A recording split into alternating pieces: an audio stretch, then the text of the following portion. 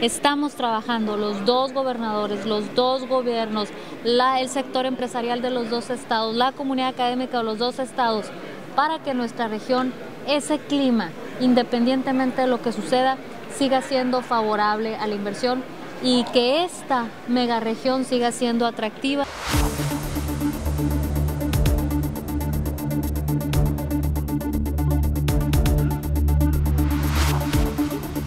El gobierno de Sonora con este esfuerzo yo creo que está integradísimo en, lo que es el comercio hoy en día.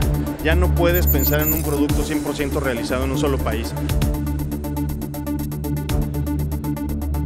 Eh, en general ustedes son un ejemplo, digamos, a nivel nacional de lo que puede ser la colaboración a nivel bilateral entre dos estados fronterizos.